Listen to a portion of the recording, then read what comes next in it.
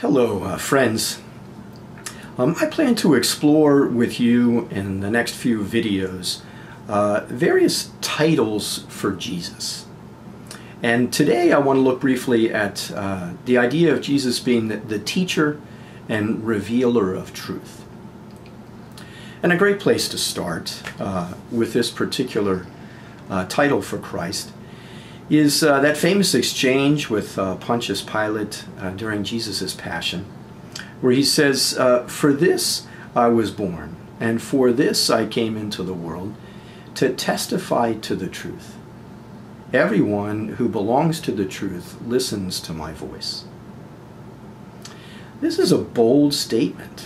Um, you know, a major reason for Jesus' mission uh, on this earth is to reveal truths about God and about God's plan for our lives on this earth that we can't figure out on our own or, or just kind of come to with the, the natural gift of reason. These revealed truths uh, lead us out of the darkness of our sin and, and selfishness and into the light where we discover human fulfillment, where we discover uh, abundant life and where uh, we discover the path to eternal life and to heaven. Before his passion, uh, the Lord proclaimed to the twelve uh, another bold statement um, I am the way, the truth, and the life. Uh, no one comes to the Father but through me. And so we understand that, that Jesus is the way to God the Father. Jesus is the, the way out of the bondage of sin. Jesus is the way to abundant life on this earth that comes to a grand conclusion of uh, the fullness of life in heaven in union with God. And so Jesus is truth. He is truth itself. He is the Word made flesh. He's the uh, eternal Word spoken by the Father. Jesus is also uh, life. He restores us to life through the forgiveness of our sins and through renewing our relationship with God the Father. He restores us to life through his tender love, and he restores us uh, to life with the outpouring of the Holy Spirit. And Jesus' mission as teacher and revealer of truth uh, kind of flies in the face of uh, a number of elements in our own culture today uh, which really deny the existence of uh, universal truths, of, of truths that don't change uh, according to the time uh, or uh, the latest philosophy. And as followers of Christ, I think that we are called to stand up against uh, this inclination in our culture toward this, this relativism that says that there are no uh, universal or immutable uh, truths in the world today. Now, there were times when Jesus' teaching was very hard to embrace for his followers and uh, was actually a, a cause of, of, division at times.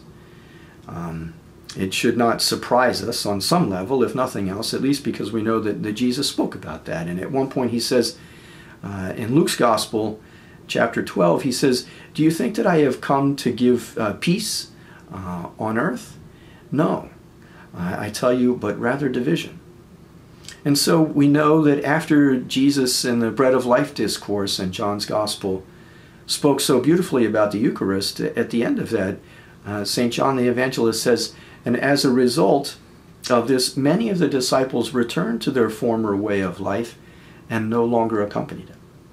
And we also know that uh, the Lord, after his uh, uh, powerful encounter with the rich young man and, and offering him a challenge, it says that the rich young man went away sad for his possessions were, were many. And so um, it shouldn't surprise us that at times uh, these truths uh, cause some division in our world. And Jesus uh, revealed the truth and taught us this way with a, a wonderfully uh, wise combination of word and example. And I think that we all know that, that often his actions were, were much more powerful than even his words. And so the, the fact that the eternal God crashed down through the barriers of time and space and, and took on our human flesh and was wrapped in swaddling clothes and, and laid in a manger has captured the attention of humanity for 2,000 years. Uh, the time that our Lord spent with uh, those people uh, while on this earth uh, who were on the fringe, um, the handicapped, uh, the, the, the lepers, the, the, the blind, the, the lame, the, the non Jews, the Gentiles, the, the, the tax collectors. Um, show to the world that, that God has a precious love for every single human being. And the forgiveness that Jesus offered from the cross uh, to all of those who had murdered him and to the repentant thief certainly remind us that Jesus taught uh, uh, what he preached and lived what he taught. Everyone who belongs to the truth listens to my voice. Thank you, and uh, God bless you.